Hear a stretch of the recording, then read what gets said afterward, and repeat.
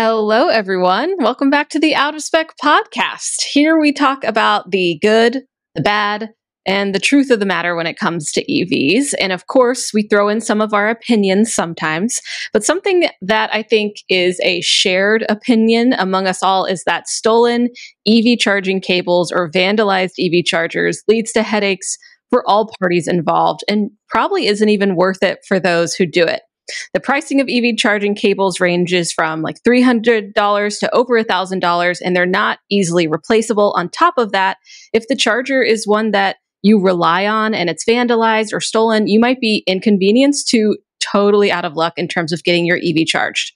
I've got a guest on today's episode that you've seen on other podcasts who unfortunately was recently targeted when his at home charger was vandalized and the cable was stolen. So let's plug in.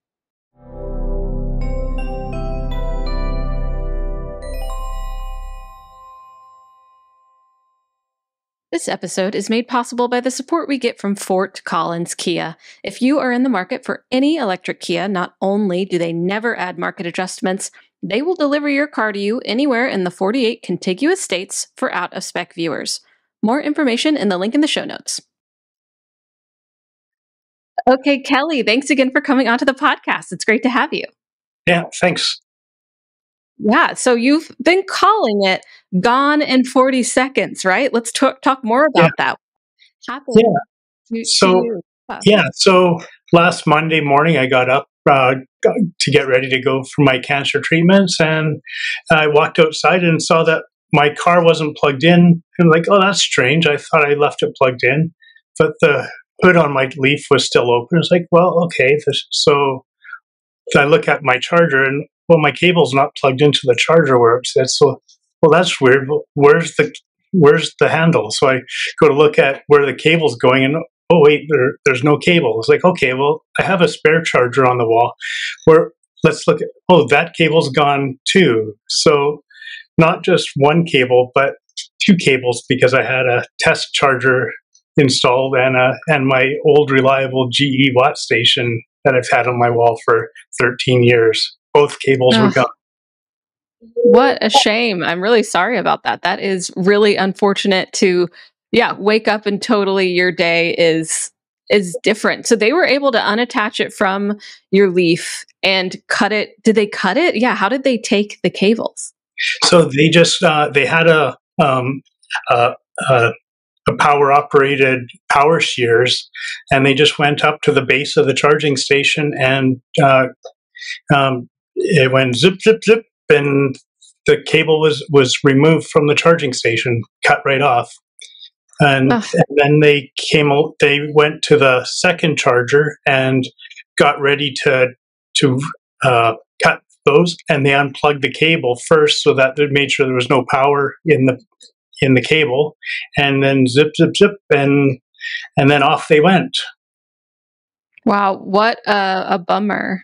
yeah, well, they from the time they got onto my driveway to the time that they left the driveway was about 40 seconds.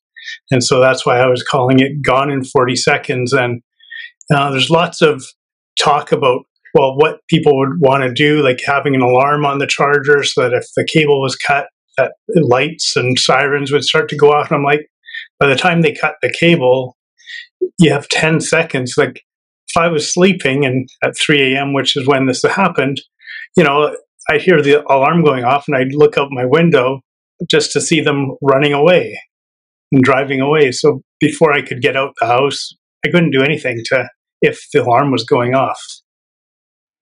No, it's it's definitely out of your hands at that point. Someone is running up your driveway and if you're tuning in on YouTube, you can actually see Kelly's it's like your doorbell video or your security cameras whatever it is. You can see the folks come up, unplug it from your leaf, which is smart. I mean, they know about what they're stealing. They're making sure it's yeah. not pumping through with electricity and then they take it. So you did catch it on camera, but yeah, I mean, thieves are quiet and they steal quickly. Of of course you're not going to be able to get really, you know, at 3 a.m. you're asleep. It's you're kind of out of luck. And we'll go into some more details about what we think could maybe prevent this. It does seem to be like it's it it's just kind of a an opportunity for thieves for sure, but how big of a problem is it? So I did want to give folks some context as well. So charging cables for electric vehicles typically use copper as the conductor material as the whole purpose is to have a the wonderful ability to transfer electricity efficiently. So this applies not only to the DC fast charging stations that we all know and love, but also the home chargers or the electric vehicle supply equipment, EVSE, specifically that allows you to power up your electric vehicle at home or at an outlet, wherever you plug it in. And copper is a high value material that is both limited in supply and easy to recycle. But unfortunately, the fact that copper is seen as valuable in a limited material, this means that charging cables have become uh, a target for theft. Today's copper market price is around $4.68 in US dollars per pound, what I was looking up. And there may be, and let me know if you know exactly, Kelly, but like two to three pounds of copper in a typical cable. So that means these thieves are getting maybe 10 to $15 per cable. Is that yeah, Does that sound about right? Sounds about right. I mean, ugh, come on. It's not even like you totally, of course, they're not thinking about anyone else, thieves. And, you know, this isn't really a philosophy podcast, but that does not seem worth it to me unless you're hitting every, I mean, every charger in the city, right? It just seems like a little bit of, um, not that not that valuable. But despite this, uh, Inside EVs reported that since the start of 2024, there have been hundreds of home chargers and DC fast chargers that have been targeted by scalpers or vandals. And in Fresno, California, they said 50 of the 88 installed charging units installed in the city have been vandalized in some form. So, different ways, of course, that you can vandalize it. And it does seem to be that it's especially been a problem for cities that have installed you know, the, the public chargers because they kind of seem to just be more rife with opportunity for theft because they're sitting in some public area. But of course, this was in your driveway, your home charger, your EVSE mounted on the outside of your house or, you know, someone's apartment for easy easy charging access. So they not only got you once, but twice. And I'd love to talk a little bit more about you know, this is really hard to stop. It doesn't seem like it's super valuable, but there it, it does seem to be a problem. What I mean, were your first thoughts when this happened? Kind of what went through your head? I mean, besides like, oh, this really sucks. Um, at first, before I saw the video, I was like, okay, well, some guys were riding along through the neighborhood on bikes and had a pair of side cutters, and and they got off their bike and cut the cut the wires and then rode off. And wasn't until after when I saw my video surveillance that oh, it's much more sophisticated than than what I was thinking it was going to be. And it's people that were driving through the neighborhood very slowly, looking at every house um, along the way.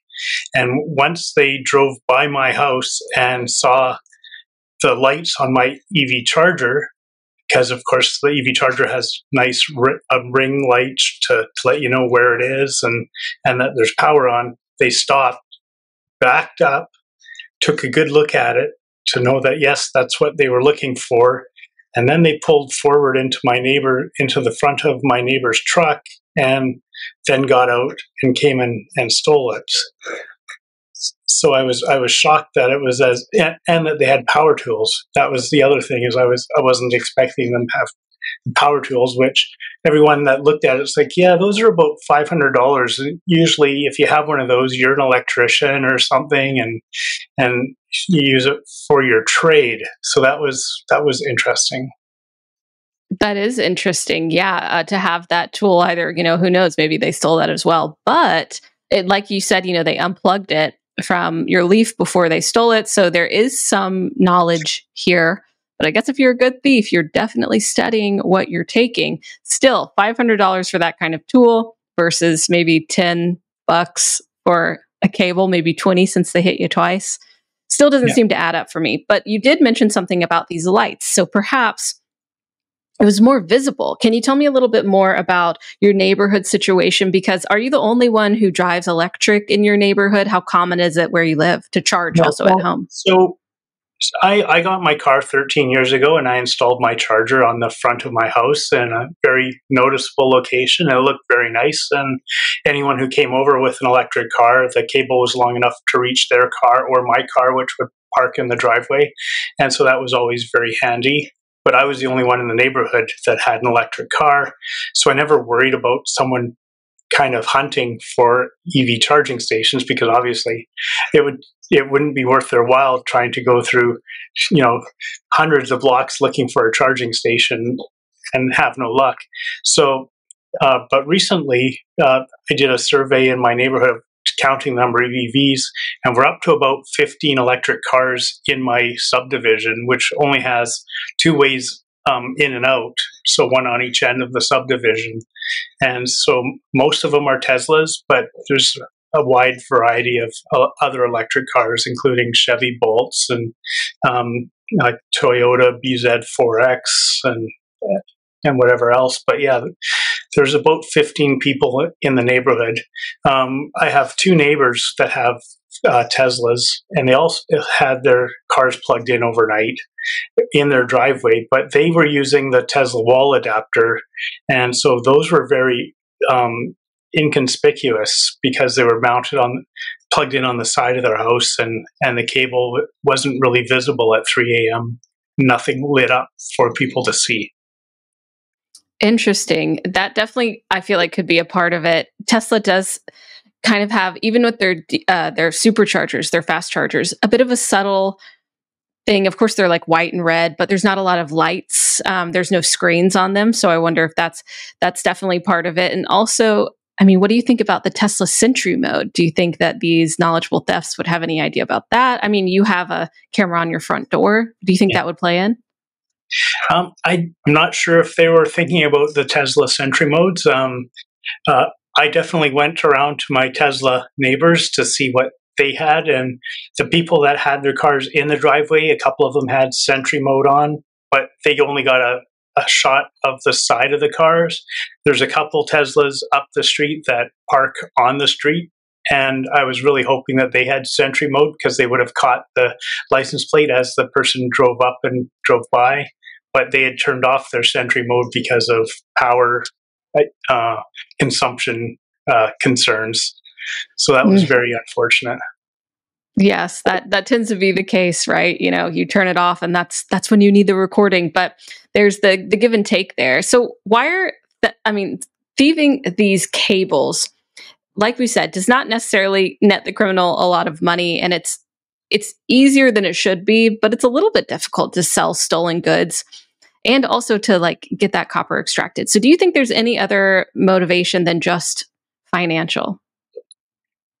Um, drug addiction is the primary reason that they do it. Um, and yeah, the the motivation is it's really strange because of you know all they're concerned about is getting more drugs. And you say if there's say there's twenty dollars worth of copper in each cable, but then they have to strip the the the um, the rubber uh, shielding off of it, and then there's the installation on every every wire that they'll usually just burn off in a put it into a fire and burn off the uh, plastic, uh, and then they'll take it down to the metal recyclers. And there's nothing at that point to make it any more suspicious than any other copper that's being sold.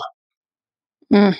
So uh, we talked about some. Do you have specific ideas of the EVSE designs that could be better? Of course, there's the Tesla wall box that seemed to not be hit, but any others, and maybe that you have in your garage. Like, what are you going to do now? How are you back to charging your Leaf at home, if you are yet? Yeah. Um, so I was using the lo- level one charger that came with the Leaf for a couple of days until I got around to disconnecting the, the two chargers off my wall. And I, I have several chargers in my garage uh, and so I've hooked one up temporarily and, and we'll bring it in at night when I'm not using it. Um, but my, my goal is I'm going to move my 240 volt outlet from the outside of my house to into, into my garage and mount it inside my garage near the garage door so I can take the cable underneath the garage door to still have almost the same reach. Mm. Yeah. Uh, the other option I was looking at was mounting the chargers on the side of my house um, which are facing my neighbors instead of the street, and then blacking out any power lights and charging status lights so that the EV the EV charger is not noticeable at 3 a.m. as people drive by. Yeah, makes sense. Make it as incu- inconspicuous as possible, which is, I think, like a good lesson that folks can take away. And I also wonder, like, t- Tom Moloughney tests a lot of at-home chargers with State of Charge. Check him out if you haven't. Friend of Out of Spec for sure. He's on the Batteries Included podcast. But I wonder, um, I, I'm not really sure, but if he's talked about this as well, because yeah, when you first installed your charger, it was like you're one of the few. So, yeah, of course, you're just going to put it outside your house. You're going to charge your leaf, no big deal. But now, as these grow, they're seen as something that is an opportunity to steal. And there's, it's kind of hard aside from putting it inside your garage to secure your charger. You can't really like chain up a charging cable or lock it. Like it, it doesn't really seem like there's a model for that. But one thing that we were briefly talking about earlier is the you know, bring your own cable model. Uh, and that's kind of more when we see on this curbside charging, that model specifically in Europe. It's bring your own cable, you pull up, there's the dispenser right there, but then you have your cable that you plug in into the dispenser and then into your car, and then you're able to charge. And when you're done, you take it, you put it away. It's Electric is uh, a startup that is uh, they're out of Brooklyn and they're uh, in a few places around the U.S. right now. And we, I've interviewed one of the co-founders, Nathan King, and they're doing a similar model too, where you have the cable and then you take it away, and this kind of avoids this opportunity that can be come across by thieves. And we were talking about J3400. So, how does this standard come into play with this kind of uh, removable cable? Sure. So, in, in Europe, the um, bring your own cable model would would fit this build really well. So that if if I wanted to leave my EV charger on the outside of my house, facing the the driveway as it as it was, having a bring your own cable model would allow me to bring the cable in or put it in in my in the trunk of my car when I'm finished charging and not have to worry about the cable being left out and someone stealing it.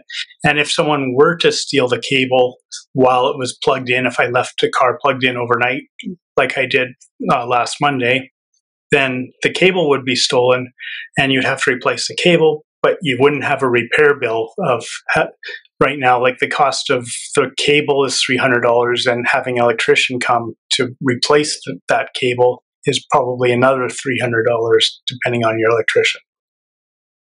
Yeah, that's a good point because it's it's hard, you know, it's hardwired into the EVSE versus this removable factor. You don't have to get a professional involved. You don't have yeah. to do all of that. So that is something that we can look forward to kind of, right? But uh, when will we start to see EVSEs that kind of have more of that that uh, setup? Do you know? So uh, we're we're looking at 2025 as as the vehicles start rolling out with uh, J3400.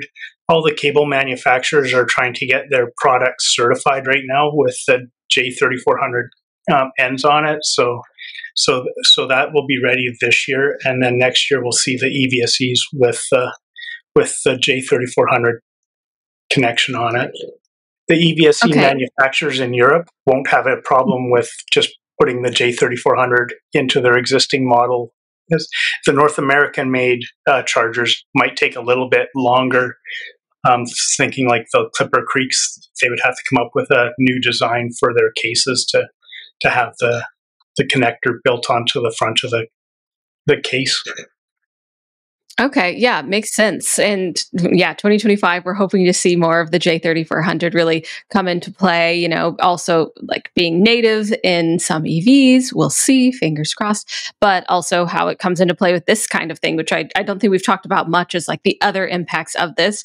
And uh, so with at home charging, you can do your best, I think, to avoid this, but unfortunately, you still might be hit. And then maybe we can briefly talk about the DC fast charging. I know that you don't own a DC fast charger, as far as I know. Maybe you do, but uh, these also can be vandalized. They also can be cut, and perhaps they're larger cables, so they'll bring a little bit more money the th- the thieves' way. But how I, have seen like, you know, security cars sitting by a charger, like at a Target, they'll have security that sits over by the chargers, and maybe that's a deterrent, more lighting. Uh, but otherwise, these also seem like they're pretty easy to target. Have you looked into this at all? Have you seen any efforts to prevent this on the public charging, fast charging side of things?